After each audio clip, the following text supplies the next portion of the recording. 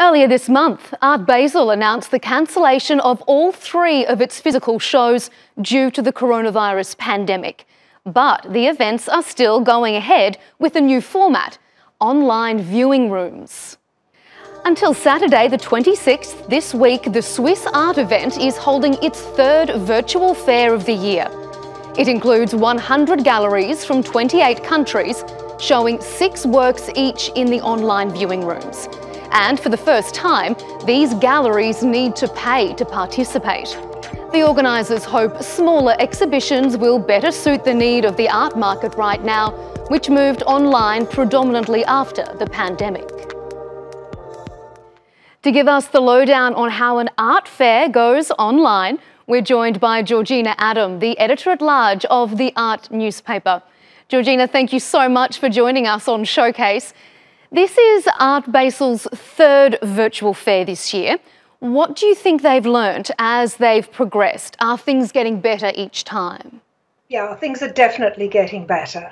Uh, the very first one, which was uh, coincided just after Art Basel Hong Kong, um, was really quite clunky. It was difficult to use. It was static. Uh, now things have improved. It's much more interactive. It's much more lively. For example, at the moment, you can actually watch an artist Rirkrit, making a work of art in his studio with his assistants.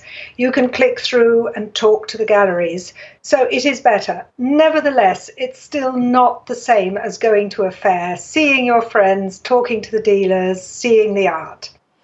That's what I wanted to bring up next. It's, it's not just the physicality of viewing it, it's the discussion that ensues afterwards, talking about it with other people who are viewing, with the curators at the gallery. How is Art Basel tackling that issue? It's pretty difficult for them to tackle it because they can't reproduce the real life experience. All they can do is show you art that's for sale. They can they can embed videos in which you visit the artist's studio or the artist talks about his work. So that's good. Uh, that's that's a positive thing, but they can't reproduce the experience, and they themselves say that this will never replace an art fair in real life, in the real world. For you personally, what do you miss the most uh, compared to an online viewing room compared to in real life? What's the one thing you miss? Well, I guess seeing people. I mean, seeing your colleagues, seeing the dealers, making discoveries. Uh, it's a very uh, solitary experience sitting there clicking on your computer. It's really not much fun. But there are some people that like it. My husband looked at the site and said it was great because he could see the art and he didn't have to talk to anyone. So, you know, some people prefer it. Horses for courses, I suppose, right? I uh, guess so.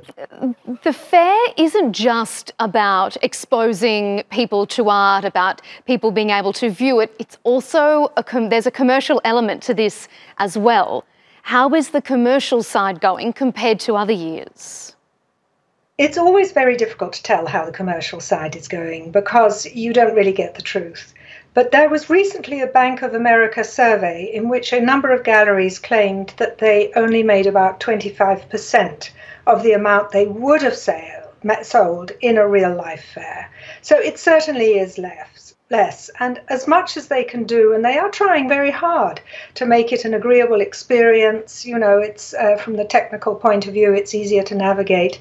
It it doesn't replace because it's a little bit like if you buy something online. You go to buy something online and you buy that thing. If you go to a shop or a fair, you see something else that you might not have thought of and you might buy it. And that online can never replace.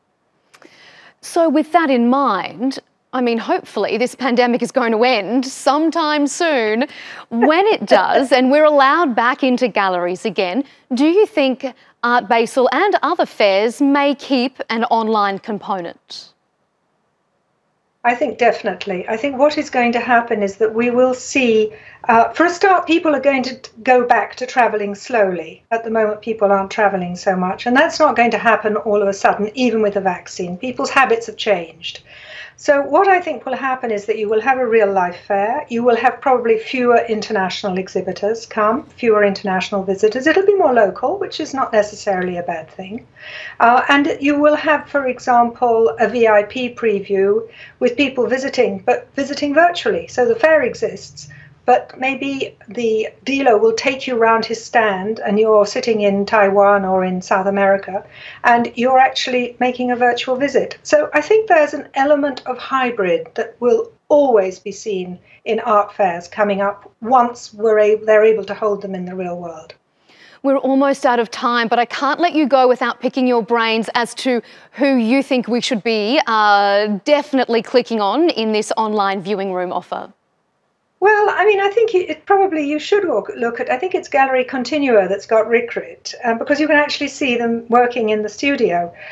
On the other hand, you know, you're watching them. It's not the same as going into the studio and talking to them. Um, and there was also somebody called Ebony Patterson. I liked her work very much. So those are two things to have a look at.